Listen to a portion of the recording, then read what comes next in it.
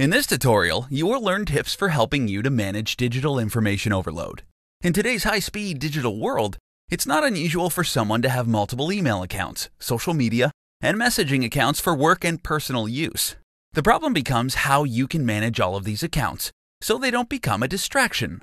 Frequently checking email, social media, and text significantly hampers your productivity. So, what can you do to manage digital information overload? Here are three tips to help you tame the electronic jungle. Number one, establish a time for checking email. Many people regularly check their email, eating up valuable time. To reduce the time you spend checking email, block specific times out on your calendar for reading and categorizing emails. Most emails that you receive can wait a few hours, and often the issue will resolve themselves on their own. When you do get to check your emails, create a category system that prioritizes them based on their urgency and relevance. This will allow you to deal with every email by either deleting them or moving them out of your inbox. Number two, determine which social media accounts you really need.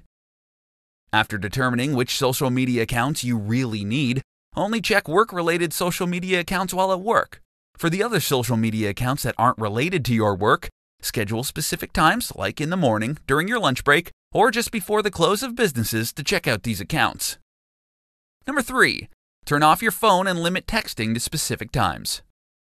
Unless you have to use your smartphone for work, keep it off while in the office, scheduling time throughout the day to check for and send text messages.